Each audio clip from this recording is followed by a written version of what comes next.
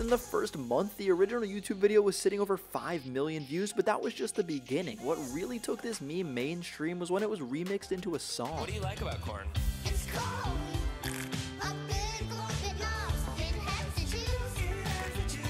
This instantly went viral on TikTok, and the song has over 1 million videos made to it. Everyone was looking to find the kid behind the video, and it wasn't long before he was making his rounds with mainstream TV and news. He has been taking the internet by storm with his love of corn, and do we love him?